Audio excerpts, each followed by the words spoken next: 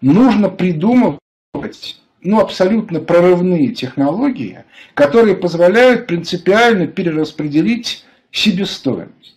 Вот я, когда познакомился с Сережей, и он, ну, э, собственно, помню, стал рассказывать про Транснет, это был, наверное, год так 2002. Я помню, он еще работал в этом самом, в налоговой службе. Я к нему заходил на эту самую, как же эта улица называется, господи, не помню, а, которая вдоль проспекта Мира идет мимо железной вот, дороги. Значит, а, солнце светит. Так вот, а чем замечателен в этом, чем замечательна в этом смысле идея транснета?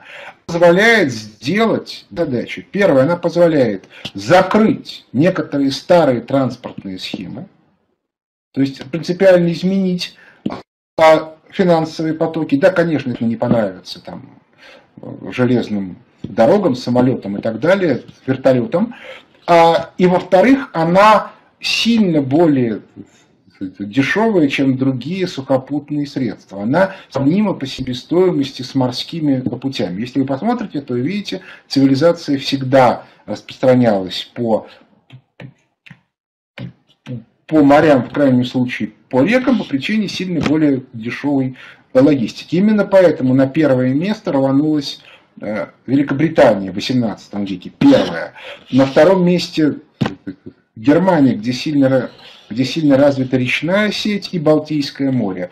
Э, ну, в некотором смысле Балтийское море – это большая река. Третья страна – это США, четвертая – это Япония. В этом смысле СССР совершил подвиг, потому что у него логистики не было. Петр I рвался к морям ровно для того, чтобы обеспечить торговлю. Так вот, если это транснет получается, я сейчас, еще раз повторяю, не берусь сказать техни технически, то решается сразу несколько задач. Задача первая. А перераспределяются финансовые э, потоки. Те, кто их получал раньше, морские державы, вынуждены частично поделиться с нами, с континентальными. И мы таким образом перераспределяем в свою пользу тот прибавочный продукт, который образуется в уже падающей мировой экономике. Это эффект первый. Эффект второй. А мы открываем фактически новые рынки. Потому что те месторождения, которые очень легки для добычи с точки зрения как бы вот их там скрытия и исследования, но, но до которых невозможно было добраться, они вовлекаются в, в, Наоборот, расширение рынков – это не только расширение продаж, это еще и, э, и э, расширение э, ну, как бы колониальный захват, это новые источники сырья, новые источники энергии. А, и, и масштаб этого вовлечения настолько велик, но если мы всю Евразию начинаем в эту сеть запускать, что во-первых, построение сети становится рентабельным. Вот это главная проблема, с которой сегодня сталкиваются любые новые технологии. Последняя новая технология, которая реально пошла круто в жизнь, это э, мобильная связь в тех или иных, в тех или иных вариантах. Ровно потому, что ее страшно дешевой. И то, те, кто помнит 98 год, а, довольно много людей отказывались от мобильных телефонов. Вот на самом деле очень многие вещи, которые нам сегодня кажутся дешевыми, после э, кризиса, когда он как бы войдет в полный рост, они станут снова дорогими.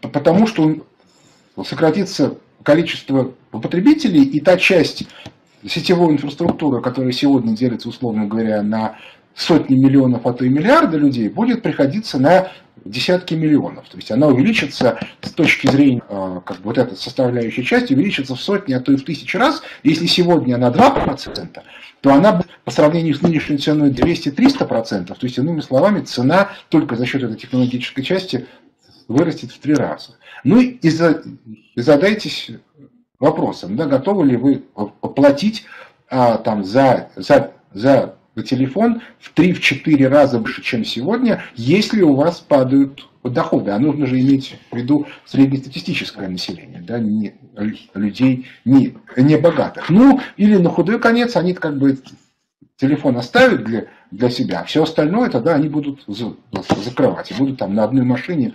10 лет ездить. Куда тогда деваются все эти автомобили? И будет одна машина на семью. Куда деваются все автомобильные концерны?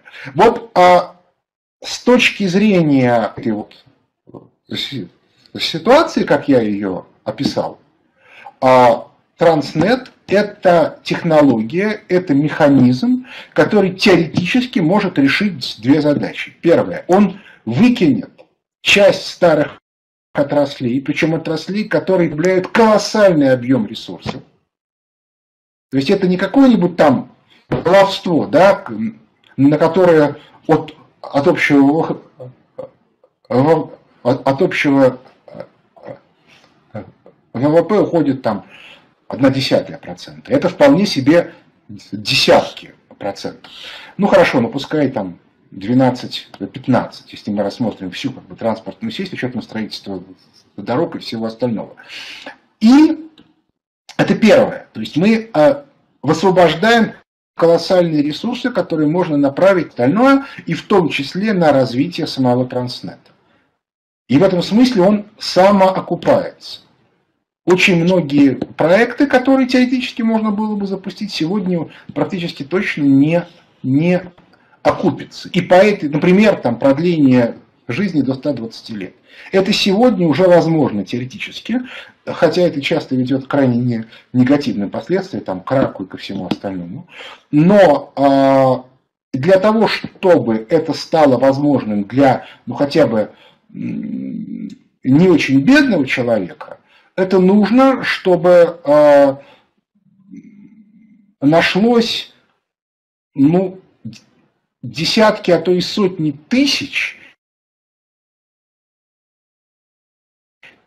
кто готов платить сегодняшнюю цену за это. А сегодняшняя цена это миллиарды долларов. Ну хорошо, пускай сотни миллионов. Сегодня людей, которые могут заплатить сотни миллионов за увеличение продолжительности жизни не гарантированно, их практически нет. Вот, и, собственно, вот на этом как бы можно и заканчивать. И вещь вторая – это перераспределение а, в пользу континентальных держав. И с иными словами, мы не только получаем ресурс для развития экономики мира в целом, создавая некоторую а, отрасль, которая ресурс развития приходится на нас. То есть мы на этом очень сильно выигрываем, ну и как бы глупо отказываться. Да? Собственно, вот на этом я хотел бы закончить, потому что моя часть закончена. Но вот еще хотел бы сказать, что вот то, что я сказал, это я не зря начал там от Адама именно от 16 века, что то, что сегодня происходит, это объективное развитие событий. И то, а, как бы, требования к инновациям, которых я говорил, что они должны быть самоокупаемые, и ресурсы они могут взять только за счет перераспределения, оно здесь выполняется. Так что можно только радоваться. Все. Спасибо. Михаил, спасибо, что сказал. Я бы еще хотел, чтобы два слова ты пояснил именно по евразийскому вектору развития. То есть почему сегодня именно евразийская интеграция, Евразийский союз, это будет то направление, которое, во-первых, нам всем очевидно, а во-вторых, там, исходя из логики там, Данилевского, Гамилева, которое было там еще там, полвека, век назад, это естественный вектор развития, и мы в этом направлении не то что вынуждены, а мы просто пойдем по этому пути, потому что другой интеграции быть не может. Так же, как и интеграция Европы, это тоже, в общем-то, естественный процесс. Вот можешь ты этот вопрос э, чуть-чуть прокомментировать именно со своей точки зрения? Нет, ну тут понятно. Я же говорил, что это континентальное развитие. При этом континент это все за исключением Западной Европы, которая очень, очень изрезана морями и которая поэтому относится к, к морской цивилизации. У нее нет потребности в этом. То есть это ей, может быть, было бы интересно, если бы ей это дали. Но острой э, потребности у нее нет. А, а на континенте абсолютно колоссальный выигрыш. И вот в эту игру, безусловно, нужно играть.